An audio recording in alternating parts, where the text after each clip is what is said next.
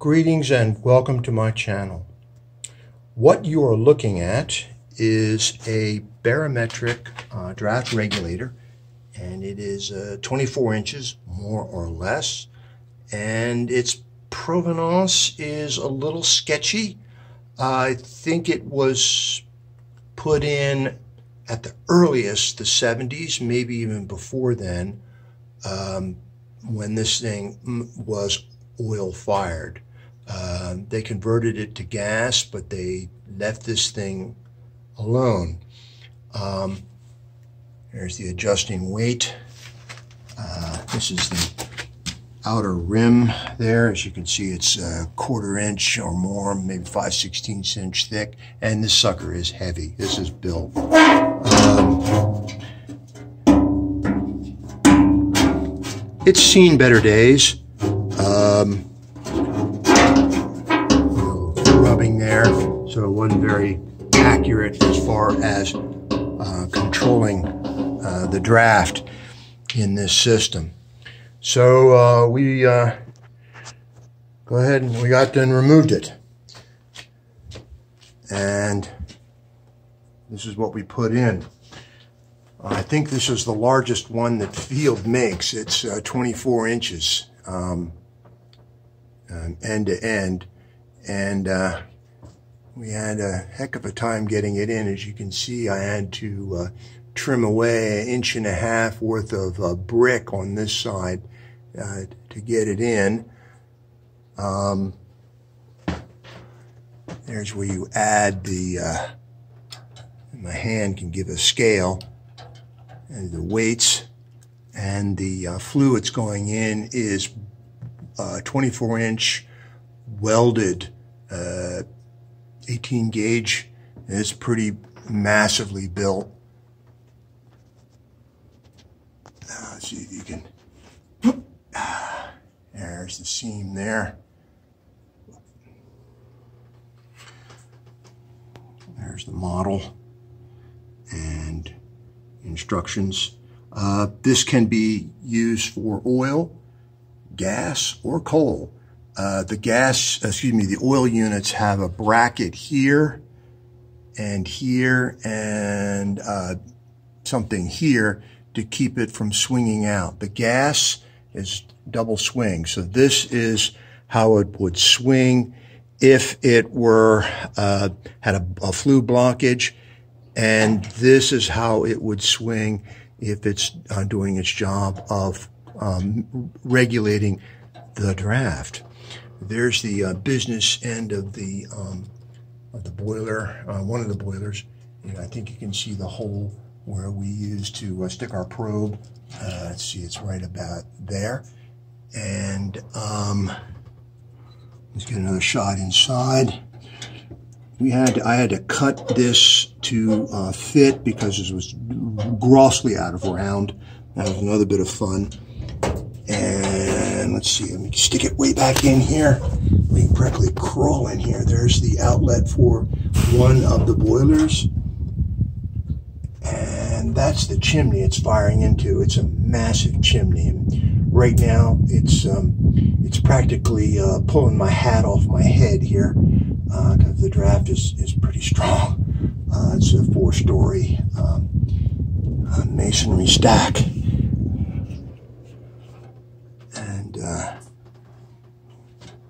there's a Burkay water heater there with the uh, draft hood on it, which um, is, of course, open all the time.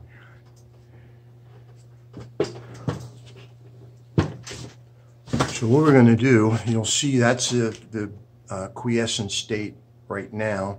And what we're going to do is we'll fire the boiler and you'll see it start to uh, open more and more as the draft increases. And that's what it's supposed to do. Right now, the, the draft is what it is.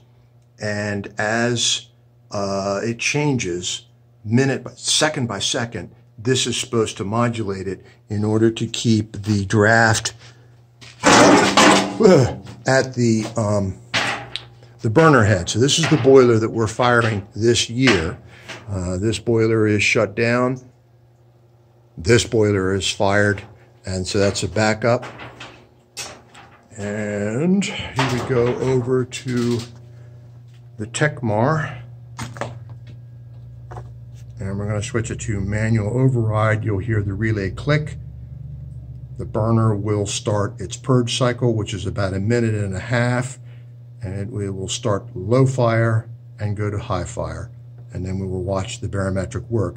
I don't know if I'll be able to talk over that. So here we go.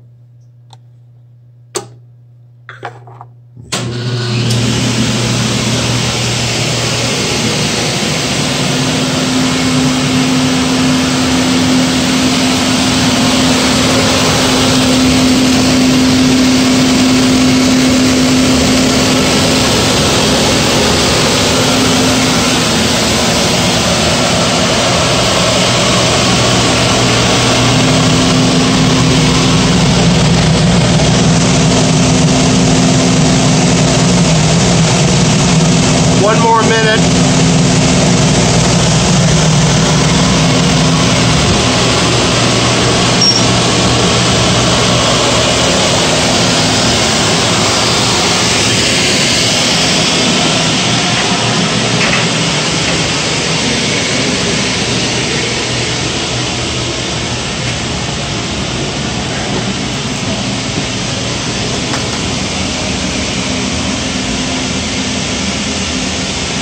Oh, yeah, those are uh, blocked flue switches there.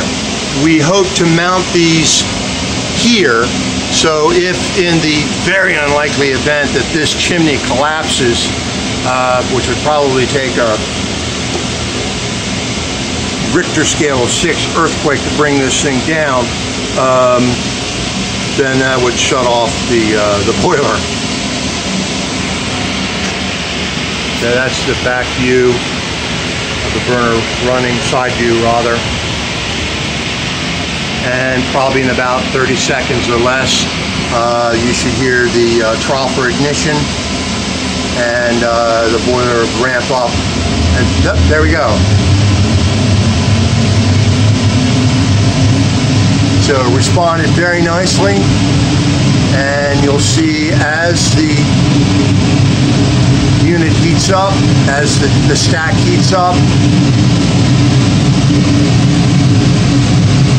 it'll draw more and more draft.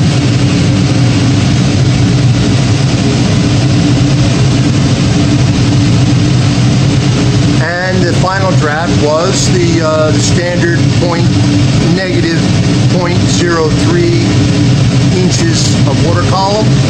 Uh,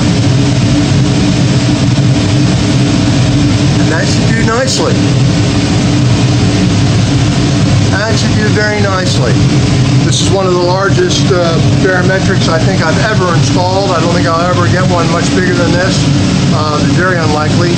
Um, I think it's the biggest one that they make in stock.